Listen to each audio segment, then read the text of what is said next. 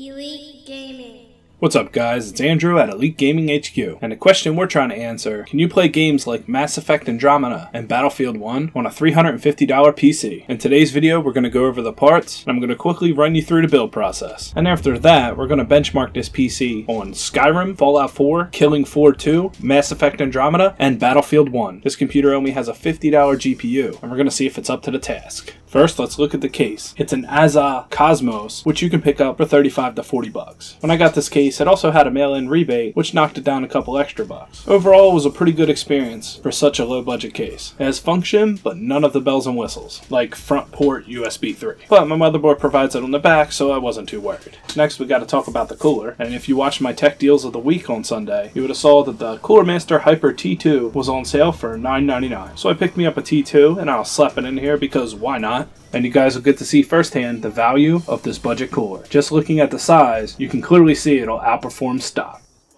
As for the rest of the parts, we have an AMD FX 6300. We went with the 6300 over any of the 83 models because of sheer price. With going with an AM3 Plus socket, we can get an inexpensive motherboard, as well as this processor, or a variant of this processor, is recommended by a lot of developers on their minimum system requirements. In fact, the Mass Effect Andromeda recommends a 6350, which is basically this processor with a slight overclock. So that's why I went with the decision to take this over something like the Pentium dual-core 4-thread processor that everybody's hooting about. But overall, the premium would have jacked the price up for the motherboard and the RAM. Next, we went with the Asus M5A78L USB 3 micro ATX motherboard. One thing nice about this motherboard is it had four RAM slots, so we can always upgrade the RAM down the road if we wish. And onto the RAM, we have two Patriot modules, 4GB DDR3 1600. Nothing too special there. As for the hard drive, we got a Seagate 500 gigabyte 7200 RPM internal mechanical hard drive. I believe I picked this up for $30, and the price has since went up to 40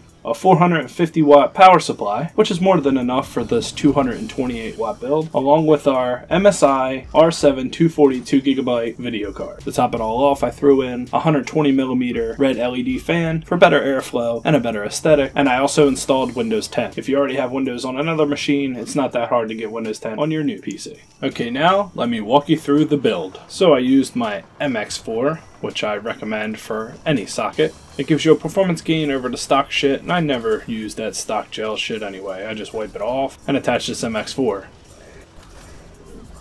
Now upon mounting the heatsink, I discovered that I didn't like the way that the fan was blowing. So I spun the heatsink so that the Cooler Master brand name would have been facing right side up through the window, and I turned the fan to an orientation in which it's a pull. And the reason for that is, you'll see later, I wanted to be able to push the air through the top of the case through the opening that I had.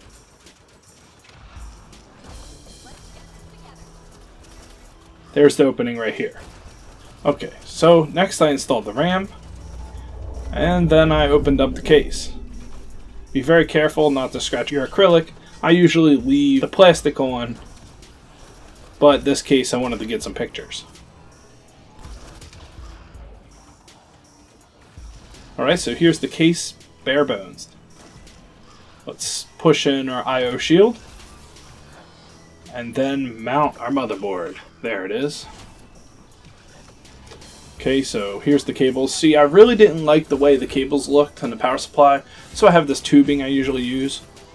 Which kind of ran me into some problems, because after I put the tubing on, I discovered that the power connection for the top of the motherboard did not reach.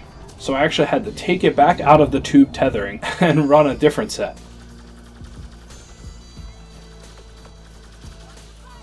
This is me mounting the power supply, and yes, I mounted the power supply with a fan facing up, and I'll explain why I did that in the end. And see with the extra tubing, it really has a better aesthetic. Alright, then we're going to install our exterior fan, we're also going to plug in all our little pins at the bottom, put in our hard drive, run the SSDs and the power to our hard drive, plug in our front fans, and also screw in our graphics card. There's a lot of things I pan through really quick. Let's go into why I made the power supply fan an upward facing one.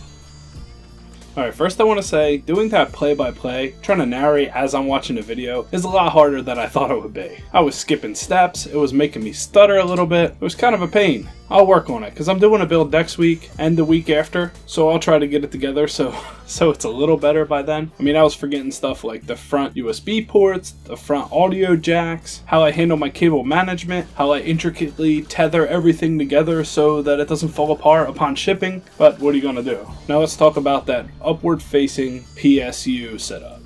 I think at some point I might do a whole video on this. There is a lot of points to make and a lot to talk about here, but a lot of it has to do with preference on your build or personal preference. Both ways have their advantages, but if you look at this build here, for the people that think that I'm just going to be blowing hot air right into my build, yes and no, because this case doesn't have a lot of intake with just the front of it. We have our intake here, as you can clearly see. That's going to be the front fan. Now I turned the PC cooler into an outwards facing fan through the hole in the top. So you're going to have heat go out here. We also have this 120 millimeter fan that's expelling heat out the back of the case. So we really kind of have more exhaust than intake, especially since the front's limited. I'm using the power supply to exhaust heat out of the case because it's going to push, to be fair, mildly warm air through the case. Now, a lot of times you wouldn't do this because you would have a huge graphics card in your way and your hot air is just going to bump right into that graphics card. It's not going to perform as well. With this small form factor GPU, the air is going to pass right by it and it's going to head to the top of the case where we're exhausting everything. So that's why I decided to do it that way. And also one good way to burn out your PSU is have it exhaust down, get dust caught in your exterior dust filter and not clean it out often enough. That'll kill power supply quicker than anything else. And quite honestly, this power supply shouldn't run too hot since the system is only using 50% of its actual capacity. Okay, so this video has been going on for a while. This is the build video. Tomorrow I'll post the benchmarks. And if it already is tomorrow or any day after, I'll put a card right here to the benchmarks. And if you guys have been watching this long, let me know in the comments below. The first person that lets me know, I'll send you a free Steam gift card. We'll see who gets it. That'll be interesting to see who's watching this long. Giveaways randomly in the channel. That's what I'm talking about. But anyway, I'll catch you guys in tomorrow's video when we benchmark this thing. I don't really want to call it a potato. It's not quite that. It's a little bit better. We'll see what it can do. Honestly, I have no fucking clue. I haven't benchmarked it yet. So we're going to get to see together. So I'll catch you in that video, guys. And thanks for supporting my channel. I'm Andrew, and this is Elite Gaming HQ. Thanks, guys.